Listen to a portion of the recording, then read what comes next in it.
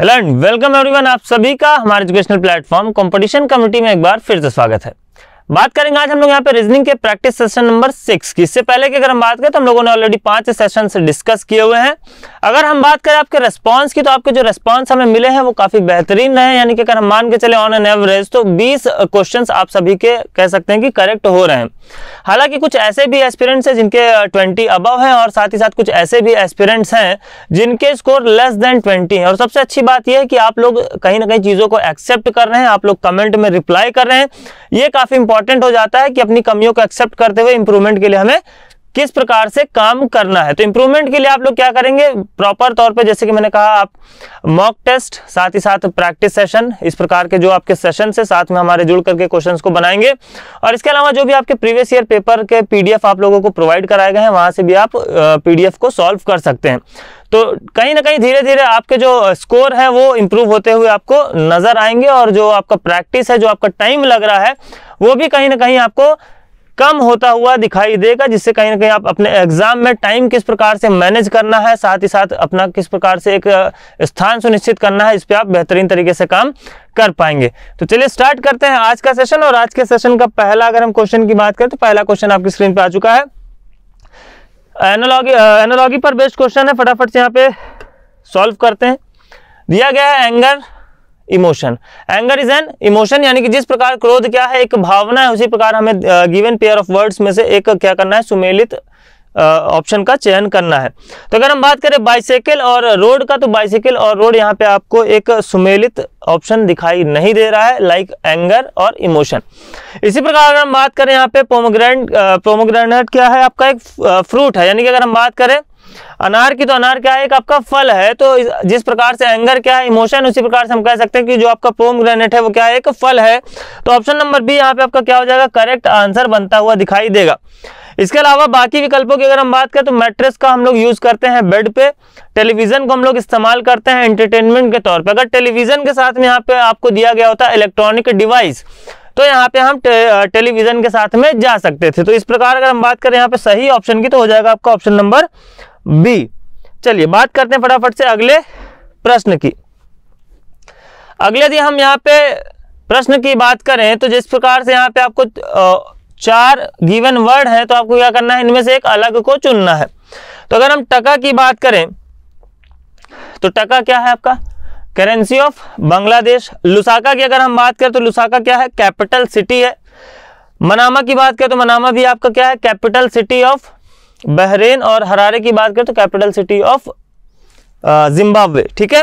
तो इस प्रकार से बाकी के तीन आपके क्या है यहाँ पे? कैपिटल सिटीज़ हैं, जबकि एक क्या है आपका? करेंसी है, यानी कि यही क्या हो जाएगा? अलग हो जाएगा। बात करते हैं अगले प्रश्न की। अगला प्रश्न आपका coded form of blood relation से है तो मैंने कहा केवल हमें क्या ध्यान देना होता है कि फ़र्स्ट पर्सन का रिलेशन सेकंड पर्सन से है या सेकंड पर्सन का रिलेशन फ़र्स्ट पर्सन से? तो यहाँ पे आप क्लियरली देख सकते हैं फ़र्स्ट पर्सन का रिलेशन सेकंड पर्सन के रेस्पेक्ट में दिया गया तो डायरेक्टली हम लोग यहाँ पे क्वेश्चन को सॉल्व करेंगे।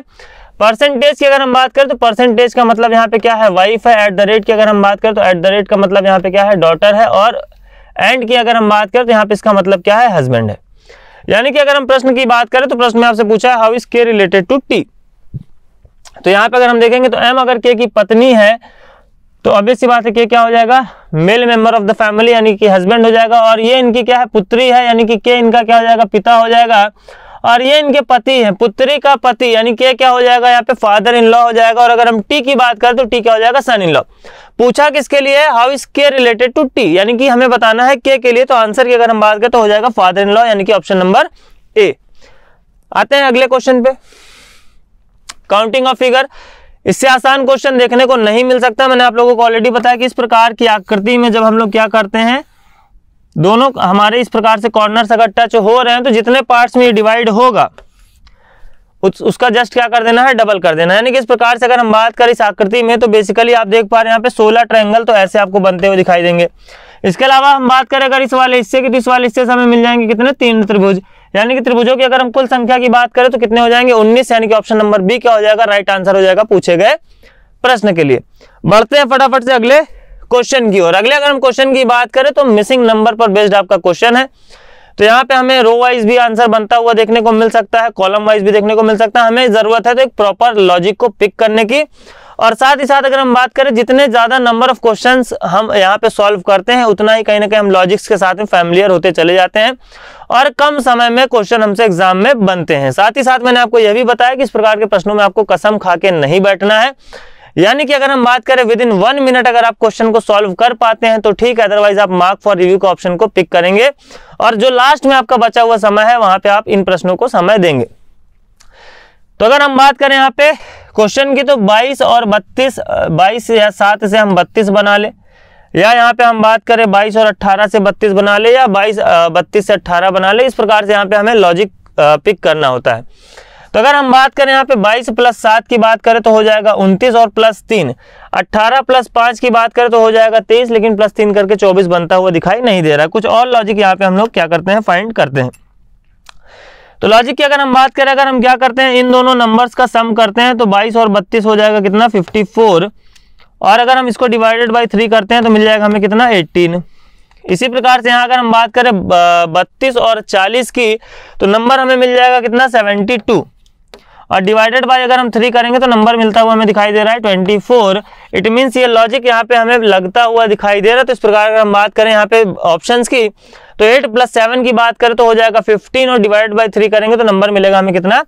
फाइव यानी कि करेक्ट ऑप्शन की हम बात करें तो यहाँ पे हो जाएगा आपका ऑप्शन नंबर डी आते हैं फटाफट से यहाँ पे अगले क्वेश्चन की ओर, चलिए। अगले क्वेश्चन की अगर हम बात करें तो मैथमेटिकल ऑपरेशंस पर बेस्ड क्वेश्चन है और यहाँ पे मैंने आपको ऑप्शन का प्रेफरेंस कैसे हमें चुनना है, इसके बारे में मैंने आपको बताया है। तो अगर हम बात करें यहाँ पे पहले विकल्प की तो पहले विकल्प को हम लोग क्या करेंगे? होल्ड पे रखेंगे। जैसा मैंने बताया कि आपको इक्वल्स टू को हम लोग लास्ट में जो कंसिडर करेंगे, यानी कि पहले उसको हम प्रेफरेंस देंगे। और डिवाइड बाई के साथ में जो हमें होल नंबर मिलता हुआ दिखाई देगा, उस ऑप्शन को भी हम लोग यहाँ पे क्या करेंगे? प्रीफर करेंगे। बाकी के ऑप्शन को हम लोग होल्ड पे रखते हुए चले जाएँगे। तो अगर हम ऑप्शन बी की बात करें तो यहाँ पे डिवाइड बाई का साइन सबसे पहले आएगा, यानी कि 60 डिवाइड बाई टू की अगर हम बात करें तो हमें एक होल नंबर मिलता हुआ दिखाई दे रहा है। साथ ही साथ इक्वल्स टू का साइन भी हमें कहा दिखाई दे रहा है? लास्ट में दिखाई दे रहा है तो इट मीन हम इस ऑप्शन के साथ में जा सकते हैं। इस ऑप्शन से अगर हम यहाँ पे सॉल्व करेंगे तो ये वैल्यू हो जाएगी थर्टी अगेन अगर हम बात करें, यहाँ पे हो जाएगा प्लस का सिक्स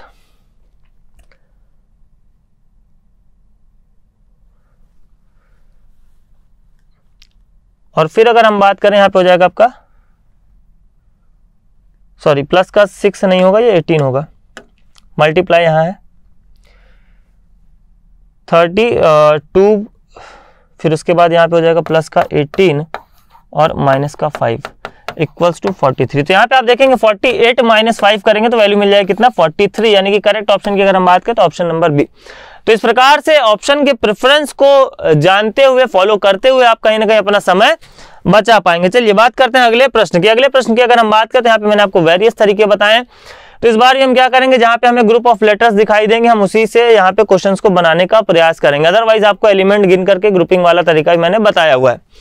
तो अगर हम ग्रुप ऑफ़ एलिमेंट्स की बात करें तो यहाँ पे आपको यू ए एक का स्पेस जेड दिखाई दे रहा है, फिर यहाँ पे यू फिर ए की जगह पे स्पेस दिखाई दे रहा है और फिर अगेन एक एलिमेंट के बाद में आपको जेड दिखाई दे रहा है। यानी कि अगर हम बात करें यहाँ पे एलिमेंट्स की तो यहाँ पे हम पी को फिल कर सकते हैं और यहाँ पे हम ए को फिल कर सकते हैं।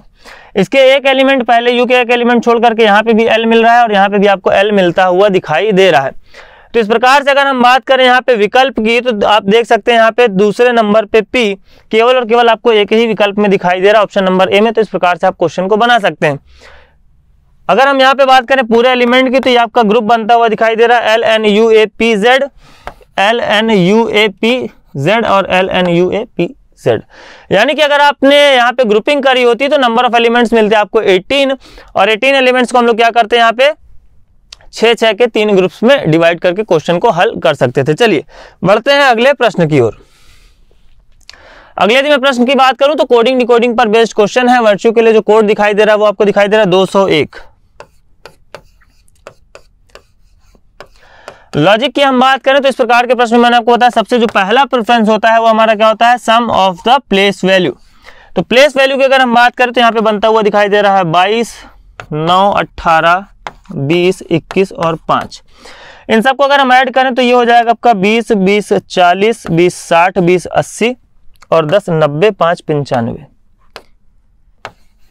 यानी कि 95 बनता हुआ दिखाई दे रहा है। 95 के मल्टीपल या अगर हम बात करें यहाँ पे नंबर अगर होता है 101 तो हम कह सकते थे कि 95 में हमने क्या कर दिया? नंबर ऑफ़ लेटर्स को ऐड कर दिया तो 101 बनता हुआ दिखाई दे रहा है। लेकिन यहाँ पे 95 के मल्टीपल करने पे भी आपको 201 या आ, 95 के आसपास यहाँ पे आपको 201 बनता हुआ दिखाई नहीं दे रहा है। तो दूसरा तरीका हमारे पास क्या था कि दूसरा तरीका यह था कि हम क्या करें इनके अपोजिट लेटर्स की यहाँ पे हम बात करेंगे। तो अगर एक बार हमने यहाँ पे लेटर्स की प्लेस वैल्यू निकाल ली तो अपोजिट लेटर्स के लिए हमें पूरा ऐड करने की ज़रूरत नहीं। सिंपली क्या करेंगे? नंबर ऑफ़ लेटर्स को मल्टीप्लाई करेंगे 27 से। तो छह दूनी बारह और यहाँ पे सात छंग बयालीस, यानी कि एक में से हमें 95 को क्या कर देना है? माइनस कर देना है। तो यहाँ पे वैल्यू मिल जाएगी हमें कितनी? 100 माइनस करोगे तो यहाँ पे मिलता है हमें 62 पाँच ऐड कर दो, मिल जाएगा हमें कितना? 67 67 की अगर हम बात करें तो 67 के मल्टीपल में आपको 201 बनता हुआ दिखाई दे रहा है। तो कितने टाइम्स में दिखाई दे रहा है? तो छह तरीक अट्ठारह, सात तरीक इक्कीस, यानी कि अगर हम बात करें थ्री टाइम्स की तो थ्री टाइम्स में आपको 201 बनता हुआ दिखाई दे रहा है।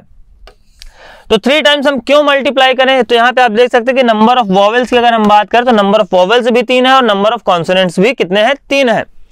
तो यहाँ पे हो सकता है कि हमने क्या किया? अपोजिट लेटर्स की प्लेस वैल्यू का सम किया, उसके बाद हम लोगों ने नंबर ऑफ़ वॉवल या नंबर ऑफ़ लेटर्स के आधार पे उस नंबर को मल्टीप्लाई कर दिया।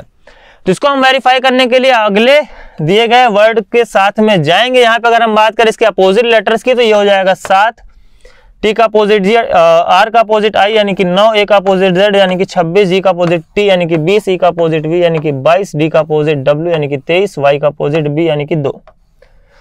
इन सबको अगर हम ऐड करें तो यहाँ पे हो जाएगा नौ सात सोलह सोलह छः बाईस बाईस दो चौबीस तीन, सत्ताईस और दो, उनतीस का नौ कैरी जाएगा दो दो दो चार, दो छः, दो आठ, दो दस, एक सौ नौ।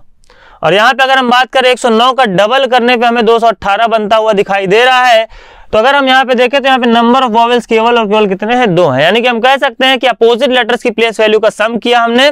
उसके बाद जितने नंबर ऑफ़ यहाँ पे वॉवल्स है, उसके साथ हम लोगों ने क्या कर दिया? मल्टीप्लाई कर दिया तो यहाँ पे हमें कोड मिल जाएगा। तो इस प्रकार से अगर हम बात करें गिवन वर्ड जिसके लिए हमें कोड फाइंड करना है तो पी का अपोजिट होता है के प्लेस वैल्यू हो जाएगी यहाँ पे 11 आर का opposite I place value 9 O का opposite L place value 12 F का opposite U place value 21 A का opposite Z place value 26 N का अपोजिट एम प्लेस वैल्यू 13 और ई e का अपोजिट वी प्लेस वैल्यू 22 इन सबको अगर हम यहाँ पे ऐड करें तो ये हो जाएगा दो और तीन, पाँच, छः, ग्यारह, एक, बारह, दो, चौदह और नौ, तेईस और एक, चौबीस का चार कैरी जाएगा दो, तीन, एक, चार, दो, छः, दो, आठ, एक, नौ और दो, ग्यारह. One one, four.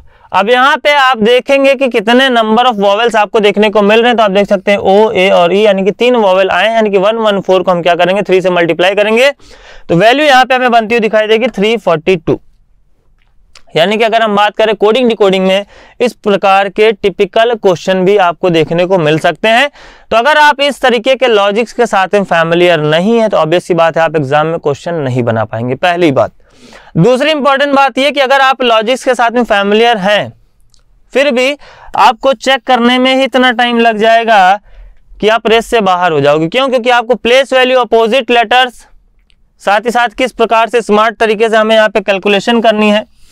या अगर हम बात करें, जैसे हमने प्लेस वैल्यू निकाल ली तो फिर बाकी हम अपोजिट लेटर्स की प्लेस वैल्यू लिखने में अपना टाइम वेस्ट नहीं करेंगे। मैंने आपको बताया तरीका। 27 से मल्टीप्लाई कर देना है नंबर ऑफ़ लेटर्स को और उसमें से वैल्यू जो भी आपको यहाँ पे मिली उसको घटा देना है। तो कहीं ना कहीं आप अपना समय बचाइए। प्लेस वैल्यू आपको याद होनी चाहिए अपोजिट लेटर्स आपको याद होनी चाहिए। अदरवाइज़ आप अपोजिट लेटर्स निकाल रहे हैं, फिर उसकी प्लेस वैल्यू निकाल रहे हैं, फिर आप उसको गिन रहे हैं तो कहीं ना कहीं आप अपना टाइम वेस्ट कर रहे होंगे, ठीक है? तो जितना बेहतर तरीके से ये चीज़ें आपके माइंड में बिल्कुल फ़ीड रहेंगी, उतना कम समय में आप क्वेश्चंस को आसानी से बना पाएँगे। चलिए, बात करते हैं अगले प्रश्न की। अगले यदि मैं प्रश्न की बात करूँ तो बोला है, वेसल क्या है? एम्प्टी है। जिस प्रकार से वेसल अगर हम बात करें, पात्र क्या होता है? खाली होता है तो सीट भी क्या होती है आपकी? खाली या फिर आप इंग्लिश की अगर हम बात करें तो बोल सकते हैं वैकेंट होती है, यानी कि ऑप्शन नंबर सी क्या हो जाएगा? राइट आंसर हो जाएगा, पूछे गए प्रश्न के लिए। बात करेंगे अगले क्वेश्चन की। अगले अगर हम क्वेश्चन की बात करें तो यहाँ पे भी हम सीधे प्लेस वैल्यू के टर्म में बात करेंगे तो यहाँ पे हो रहा है दस से चार, यानी कि माइनस का छः और फिर यहाँ पे अगर हम बात करें तो मिल रहा है वाई नेक्स्ट टू लेटर्स में देखते हैं तो यहाँ पे हो रहा है पच्चीस से इक्कीस, यानी कि माइनस का चार। यहाँ पे हम बात करें तो छब्बीस से बीस, यानी कि माइनस का छः और पंद्रह से बारह, यानी कि माइनस का तीन। यहाँ पे हम बात करें तो पंद्रह से नौ, यानी कि माइनस का छः और चार से कह सकते हो पीछे जाओगे तो माइनस फोर करने पे आपको जेड मिलेगा, यानी कि डी से प्री फोर्थ लेटर की बात करें। पीछे तो माइनस का फोर होता हुआ दिखाई दे रहा है। तो यहीं से आप आंसर मार्क कर सकते हैं तो ऑप्शन नंबर बी को आगे आपको चेक करने की ज़रूरत नहीं थी। वेरीफाई कर सकते हैं, यहाँ पे अगर हम बात करें सत्ताईस, एको में सत्ताईस क्यों बोल रहा हूँ, आप लोग अभी तक समझ चुके होंगे। इतना सारे सेशंस अटेंड करने के बाद, चलिए। तो ये हो जाएगा आपका सत्ताईस सत्ताईस से हो जा रहा है कितना? इक्कीस, यानी कि माइनस का छः और सोलह से हो जा रहा है बारह, यानी कि माइनस का चार। तो इस प्रकार आप देख सकते हैं कि first two pair of letters में माइनस श्योर और सेकंड आपके जो पेयर है, वहाँ पे माइनस का फोर होता हुआ दिखाई दे रहा है एक्सेप्ट ऑप्शन नंबर बी तो यही आपका क्या हो जाएगा? आंसर हो जाएगा पूछे गए प्रश्न के लिए। चलिए। आते हैं पेपर कटिंग एंड फोल्डिंग पर। पेपर कटिंग एंड फोल्डिंग की अगर हम बात करें तो मैंने आपको बताया था कि लास्ट फोल्ड पे क्या करना है? मिरर लगाना है और केवल और केवल हमें ऑप्शंस को क्या करना है? एलिमिनेट करना है। तो ऑप्शन को एलिमिनेट आप किस आधार पे करेंगे? यानी कि ये वाला जो ट्रायंगल है, आपको ये उल्टा बनता हुआ दिखाई देगा और ये जो आपका उल्टा वाला ट्रायंगल था, ये आपको कैसा बनता हुआ दिखाई देगा? ये आपको ऊपर में सीधा बनता हुआ दिखाई देगा। और इसी प्रकार के पेयर से आप क्या कर सकते हैं? यहाँ पे ऑप्शंस को एलिमिनेट कर सकते हैं। यानी कि अगर हम बात करें ऑप्शन नंबर ए तो ऑप्शन नंबर ए में ये वाला ट्रायंगल आपको यहाँ पे सीधा दिखाई दे रहा है, जो कि क्या होगा? गलत होगा, इस प्रकार से आपको बनता हुआ दिखाई नहीं देगा। ऑप्शन नंबर बी की अगर हम बात करें तो ये वाला आपका ट्रायंगल आपको उल्टा बनता हुआ दिखाई दे रहा है तो ये भी क्या हो जाएगा? एलिमिनेट हो जाएगा। ऑप्शन नंबर अगर हम सी की बात करें तो दोनों आपको एक जैसे यहाँ पे ट्रायंगल बनते हुए दिखाई दे रहे हैं तो ये भी क्या हो जाएगा? एलिमिनेट हो जाएगा। ऑप्शन नंबर डी को आप आँख बंद करके आंसर मार्क करके आ सकते हैं। यहाँ पे आपको बहुत ज़्यादा फोकस्ड होने की ज़रूरत नहीं है। क्लियर? बाकी आप इसको वेरीफाई करा सकते हैं इस प्रकार से। चार भागों में बांटकर। चलिए, बात करेंगे यहाँ पे हम लोग अगले प्रश्न की। अगले दिन में प्रश्न की बात करूँ तो बोला है राज इक्वल्स टू 87 तो फटाफट से मैंने कहा पहला प्रायोरिटी क्या होगा? प्लेस वैल्यू प्लेस वैल्यू की बात करें तो एटीन वन और टेन यानी कि 18 10 28 एक उनतीस यानी कि 29 और 29 को जब हम थ्री टाइम्स क्या करेंगे? मल्टीप्लाई करेंगे तो वैल्यू मिलेगी हमें कितनी? 87 यानी कि हम कह सकते हैं sum of place value multiplied by number of letters तो क्या ये बात यहाँ पे भी अप्लीकेबल हो रही है? तो इसको फटाफट से वेरीफाई करते हैं। तो यहाँ पे अगर हम जी की बात करें तो सेवन आई की बात करें तो नाइन टी की बात करें तो ट्वेंटी और यहाँ पे हो जाएगा one sum of place value की अगर हम बात करें तो ये हो जाएगा तीस और सात, सैंतीस यानी कि थर्टी सेवन थर्टी सेवन की अगर हम बात करें तो नंबर ऑफ़ लेटर्स यहाँ पे कितने हैं? चार। तो चार तिहाई बारह यानी कि 120 और सात चौक 28 यानी कि 148 जो कि आपको यहाँ पे बनता हुआ दिखाई दे रहा है 148 तो इसी प्रकार हम लोग लॉजिक अप्लीकेबल करेंगे किसके लिए? पूछे गए वर्ड के लिए, यानी कि वी की अगर हम प्लेस वैल्यू की बात करें तो 22 ए का हो जाएगा एक आर का हो जाएगा 18 यू का हो जाएगा 21 और एन का हो जाएगा 14 सब अगर हम सम की बात करें तो 22 और 18 हो गया 40 40 और 20 हो गया 60 60 और 15 हो गया पचहत्तर और एक छिहत्तर यानी कि 76 76 की अगर हम बात करें तो मल्टीप्लाई करना हमें 5 से तो सात पचे पैंतीस, तीन सौ पचास और छह पंचे तीस यानी कि 380 आपका ऑप्शन नंबर डी क्या हो जाएगा? राइट आंसर हो जाएगा पूछे गए प्रश्न के लिए। चलिए बढ़ते हैं अगले क्वेश्चन की ओर। अगले क्वेश्चन की अगर हम बात करें तो देखो स्मार्ट तरीका। मैंने कहा ना बेसिक मैं आपको नहीं पढ़ाऊँगा, जो भी मैथ्स के क्वेश्चन यहाँ पे आपको देखने को मिल रहे हैं तो स्मार्ट तरीके से क्वेश्चन को हम लोग बनाएँगे। The present age of a father is three times that of his elder son अगर हम एल्डर सन की बात करें तो प्रेजेंट एज जो फादर की है, वो कितनी है? थ्री टाइम्स है। तो वन इज़ टू थ्री का रेशियो है एल्डर सन और प्रेजेंट एज ऑफ़ फादर की। इसके अलावा अगर हम यहाँ पे बात करें four year hence the age of the father will be four times that of his younger son यानी कि अगर हम यंगर सन की बात करें तो यंगर सन और फादर की एज का जो रेशियो है, यानी कि प्लस फोर ईयर्स के बाद, वो कितना देखने को मिलेगा? तो वो हमें वन इज़ टू फोर का रेशियो देखने को मिलेगा। इसके अलावा अगर हम बात करें if the difference between the present ages of the elders and younger child is six year यानी कि एल्डर और यंगर का अगर हम डिफरेंस की बात करें तो यहाँ पे हमें देखने को मिल रहा है कितना? सिक्स ईयर्स ठीक है?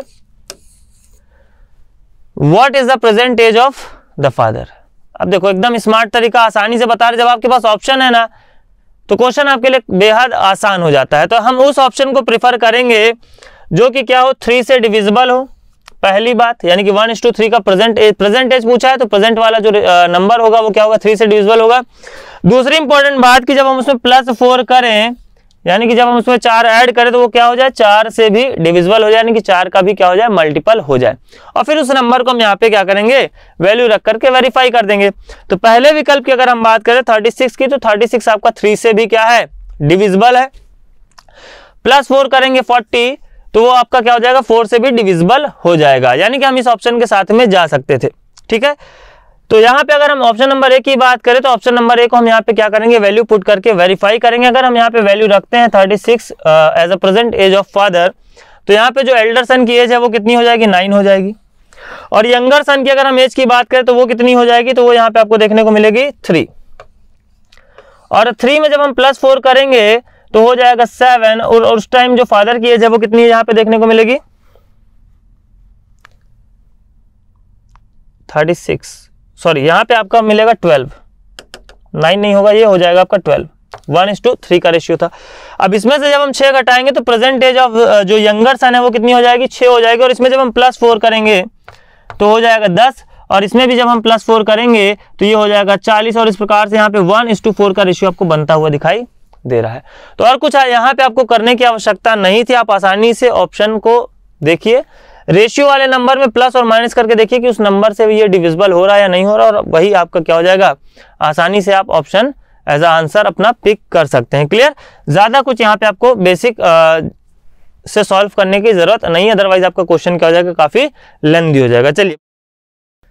चलिए, अगर अगले क्वेश्चन की अगर हम बात करें तो ऑड वन आउट पर बेस्ड अगेन यहाँ पे आपको क्वेश्चन देखने को मिल रहा है। तो यहाँ पे अगर हम बात करें गिवन ऑप्शंस की तो टी का अपोजिट यहाँ पे आपको देखने को मिल रहा है। जी वी का अपोजिट ई एच का अपोजिट एस जे का अपोजिट क्यू एम का अपोजिट एन पी का अपोजिट के ए का अपोजिट जेड और सी का अपोजिट एक्स यानी कि अगर हम बात करें तो अपोजिट सभी में अपोजिट लेटर्स का पेयर आपको बनता हुआ दिखाई दे रहा है। इस बेसिस पे हम इसको एलिमिनेट नहीं कर सकते। और दूसरे अगर हम यहाँ पे ऑप्शन की बात करें तो हम ये भी नहीं कह सकते कि यहाँ पे आपको वॉवल दिखाई दे रहा है, यहाँ पे आपको वॉवल दिखाई दे रहा है। दो ऐसे ऑप्शन है जहाँ पे आपको वॉवल दिखाई दे रहा है दो ऐसे ऑप्शन है जहाँ पे आपको वॉवल दिखाई नहीं दे रहे। यानी कि अगर एक ऐसा ऑप्शन होता, जहाँ पे वॉवल नहीं होता, बाकी के तीन ऑप्शन में आपको वॉवल दिखाई देते तो हम उस एक ऑप्शन के साथ में जाते, जिनमें जिसमें आपको वॉवल देखने को नहीं मिलता। दूसरा अगर हम यहाँ पे लॉजिक की बात करें तो देखते हैं। टी से अगर हम बात करें वी की तो यहाँ पे आपको प्लस टू देखने को मिल रहा है।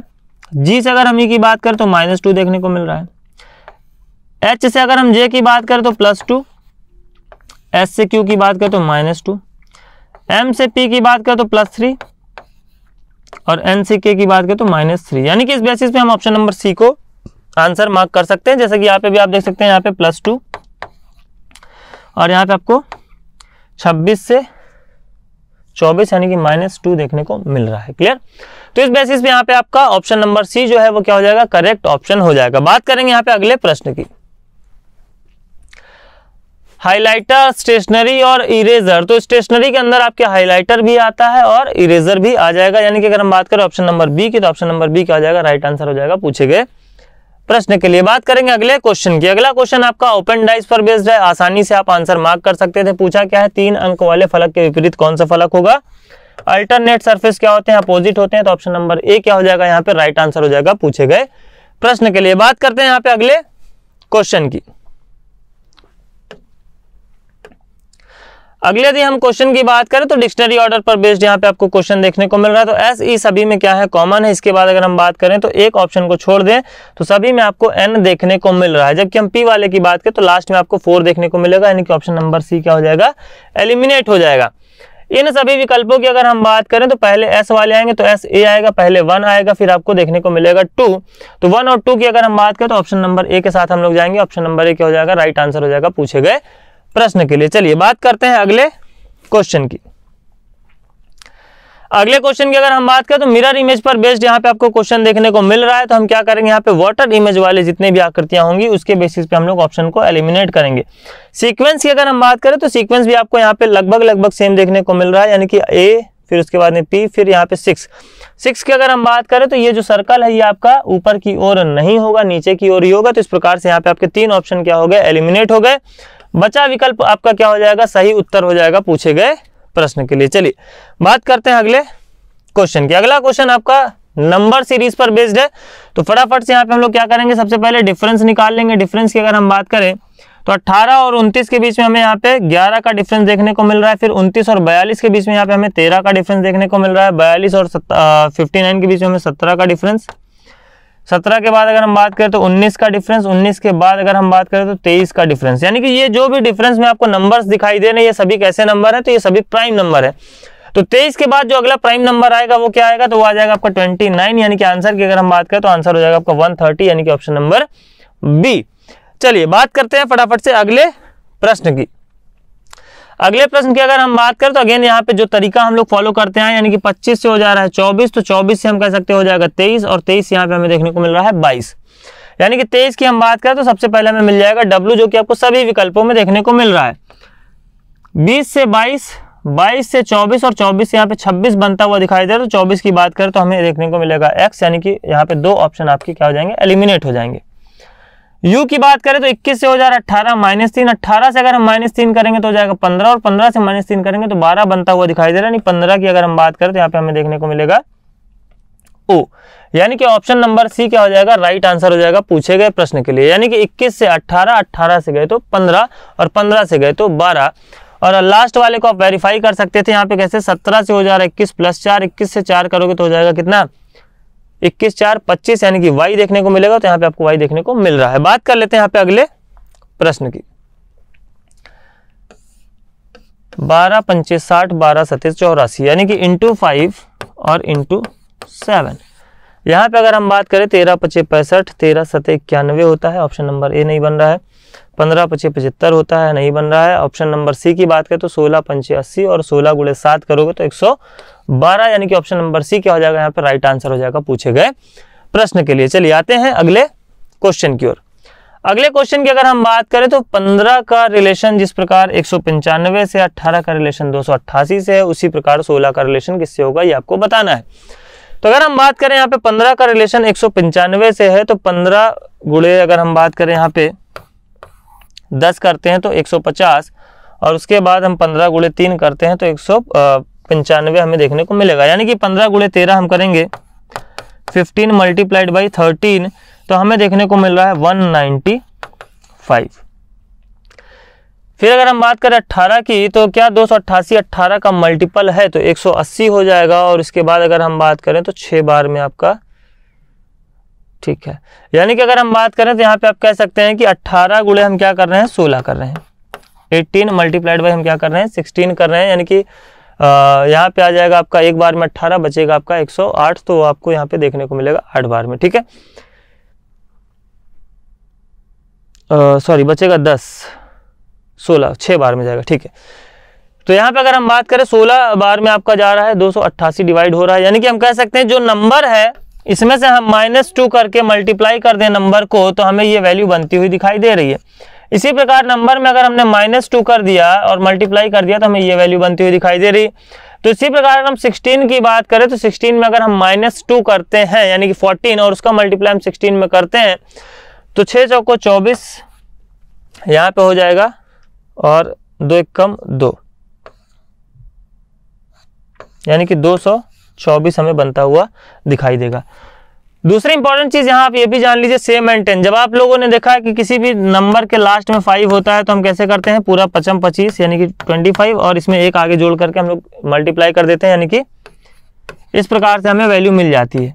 तो सेम एंड टेन जो रूल है ना, वो आपका ना केवल फाइव वाले पे, बल्कि कोई भी ऐसा नंबर जिसके लास्ट के दो डिजिट का सम कितना हो रहा हो टेन हो रहा हो, और फ़र्स्ट वाली डिजिट क्या हो सेम हो। तो वहाँ पे भी ये रूल आपका अप्लीकेबल होता है। जैसे मान लेते हमने कहा चौबीस और छब्बीस। तो इन दोनों का सम कितना हो रहा है? टेन हो रहा है तो यहाँ पे भी आप डायरेक्टली कर सकते थे। सिक्स, फोर जा ट्वेंटी फोर और यहाँ पे टू, थ्री जा सिक्स, यही आपका क्या हो जाएगा? आंसर हो जाएगा। मान लेते हैं ये है फोर्टी थ्री और फोर्टी सेवन तो थ्री सेवन जा हो जाएगा ट्वेंटी वन और फाइव, फोर जा हो जाएगा ट्वेंटी, यही आपका क्या हो जाएगा? आंसर हो जाएगा। ठीक है तो इस प्रकार से वेरियस ट्रिक्स आप लोगों ने, अगर हम बात करें मैथमेटिक्स में, जब सिंप्लीफिकेशन आप लोग पढ़ रहे थे तो वहाँ पे भी आप लोगों ने सीखी होगी। तो ज़रूरत है तो केवल और केवल आपको उसको अप्लाई करने की। चलिए बात करते हैं अगले प्रश्न की। अगले यदि मैं प्रश्न की बात करूँ तो अगेन आपको फिगर सीरीज़ पर बेस्ड क्वेश्चन देखने को मिल रहा है। तो यहाँ पे हम बात करेंगे डायरेक्शन के टर्म में। तो यहाँ से अगर हम बात करें तो एंटी क्लॉकवाइज गए 135 डिग्री तो यहाँ आ गया। अगेन यहाँ से हम आ गए 135 डिग्री तो ये आपको यहाँ पे देखने को मिल रहा है। और यहाँ से 135 डिग्री गए तो यहाँ पे देखने को मिल रहा है। इट मीन यहाँ से 135 डिग्री जाएँगे तो ये हमें देखने को मिलेगा नॉर्थ वेस्ट डायरेक्शन में, जो कि आपको दो विकल्पों में देखने को मिल रहा है। तो हम बात करेंगे दूसरे वाली आकृति की। दूसरे वाली आकृति की अगर हम बात करें तो यहाँ पे 135 डिग्री का रोटेशन आपको क्लॉकवाइज डायरेक्शन में देखने को मिल रहा है। तो यहाँ से भी हम 135 डिग्री क्लॉकवाइज जाएँगे तो हमें जो डायरेक्शन देखने को मिलेगा वो मिलेगा हमें साउथ वेस्ट यानी कि साउथ वेस्ट में ये हो जाएगा और नॉर्थ वेस्ट में आपका ये हो जाएगा। तो इस प्रकार से यहाँ पे आपका ऑप्शन नंबर ए क्या हो जाएगा? राइट आंसर हो जाएगा। पूछे गए प्रश्न के लिए। चलिए, बात कर लेते हैं अगले प्रश्न की, जो कि आपका एम्बेडेड फिगर पर बेस्ड क्वेश्चन है। और यहाँ पे रोटेशन नॉट अलाउड वाली बात भी आपको ध्यान में रखनी है। तो इस प्रकार से जो भी आकृति यहाँ पे आपको बनती हुई दिखाई देगी, इसकी अगर हम बात करें तो इस प्रकार की आकृति आप देख सकते हैं कि आपको ऑप्शन नंबर यहाँ पे ए में बनती हुई दिखाई नहीं दे रही है। ऑप्शन नंबर बी में यहाँ पे आपको बनती हुई तो दिखाई दे रही है इस प्रकार की आकृति, लेकिन आप आगे इसको कैरी ऑन नहीं कर सकते। ऑप्शन नंबर सी की बात करें तो ऑप्शन नंबर सी में भी यहाँ पे आपको आकृति बनती हुई दिखाई दे रही है और यहाँ से आप इसको आगे मूव ऑन कर सकते थे, यानी कि ऑप्शन नंबर सी क्या हो जाएगा? राइट आंसर हो जाएगा पूछे गए प्रश्न के लिए। बात करते हैं अगले प्रश्न की। अगला प्रश्न आपका सिलोगिज्म पर बेस्ड क्वेश्चन है तो फटाफट से हम यहाँ पे क्या करेंगे? स्ट्रक्चर बनाएँगे। ऑल लॉक्स आर वॉल सारे के सारे लॉक्स क्या है? वॉल है। ऑल वॉल्स आर डोर सारे के सारे वॉल क्या है? डोर है सम डोर्स आर कीज कुछ डोर क्या है यहाँ पे? की है। कंक्लूजन की अगर हम यहाँ पे बात करें तो सम लॉक्स आर कीज कुछ लॉक क्या है? की है तो हम बोलेंगे कांड से। इसके बाद अगर हम बात करें सम कीज आर वॉल्स कुछ कीज क्या है? वॉल से तो हम बोलेंगे कांड से, यानी कि की और वॉल का यहाँ पे कोई रिलेशन है या नहीं, हम कह नहीं सकते। सी की अगर हम बात करें तो ऑल लॉक्स आर डोर्स सारे के सारे लॉक्स क्या है? डोर है तो ये बात बिल्कुल यहाँ पे सही है। नेक्स्ट वन की अगर हम बात करें सम कीज आर डोर कुछ की क्या है? डोर है तो ये बात यहाँ पे आपको सही होती दिखाई दे रही है। यानी कि अगर हम बात करें उत्तर की तो यहाँ पे हो जाएगा only conclusion three and four three and four की बात करें both conclusion three and four follow यानी कि ऑप्शन नंबर सी क्या हो जाएगा? यहाँ पे राइट आंसर हो जाएगा पूछे गए प्रश्न के लिए। तो ये था आपका प्रैक्टिस सेशन नंबर छह। और कमेंट करके बिल्कुल बताना ना भूलें कि आपके पूछे गए प्रश्नों में से कितने प्रश्नों के उत्तर सही हुए। तो मिलते हैं कुछ और अमेजिंग इन्फॉर्मेशन के साथ। आज के लिए इतना ही। Thank you